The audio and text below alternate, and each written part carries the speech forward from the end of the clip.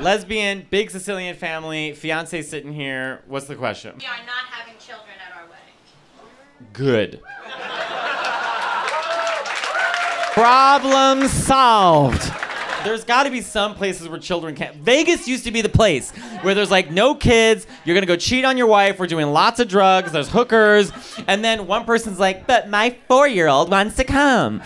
Vegas ruined. So what's the family say? No kids? How we do not want children at our wedding. Here's what I say, okay? This is my advice to you. Be happy that you have such a progressive family that at a lesbian wedding, they're most upset about the kids not coming.